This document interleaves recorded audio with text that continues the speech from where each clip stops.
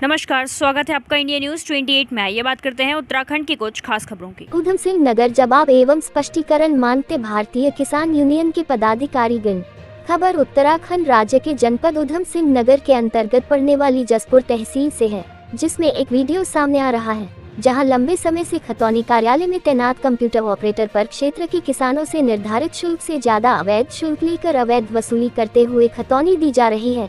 की शिकायत का संज्ञान लेकर खतौनी कार्यालय में पहुँचे भारतीय किसान यूनियन के पदाधिकारियों ने खतौनी कार्यालय में तैनात कंप्यूटर ऑपरेटर से इस संबंध में जवाब एवं स्पष्टीकरण मांगा तो वह न तो संतोषजनक जवाब एवं स्पष्टीकरण दे पाया और न ही इस संबंध में किसी भी अधिकारी का आदेश दिखा पाया। आइए आपको खबर में दिखाते हैं कि किस तरह खतौनी के नाम पर अवैध वसूली कर कालाबाजारी की जा रही है और इस संबंध में भारतीय किसान यूनियन के पदाधिकारी गण चीख कर बार बार जवाब एवं स्पष्टीकरण मांगते नज़र आ रहे हैं। सुनिए और देखिए। स्टेट हेड मिंटू अजय सागर की रिपोर्ट।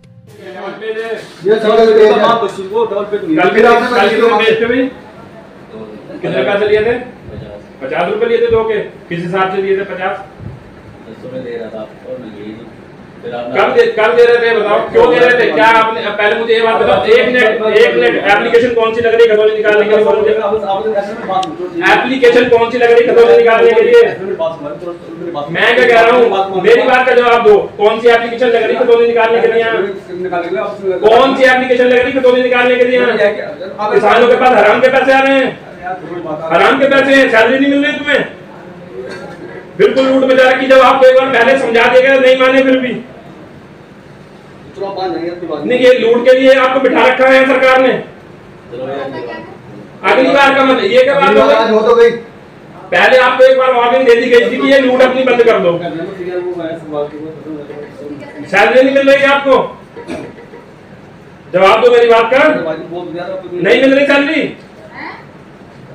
क्यों लूट रहे हो किसानों के यहाँ? आप मुझे लिख के दो यहाँ बोलने से क्या होता है? बोलने से कुछ नहीं होता। बोलने से कुछ नहीं होता।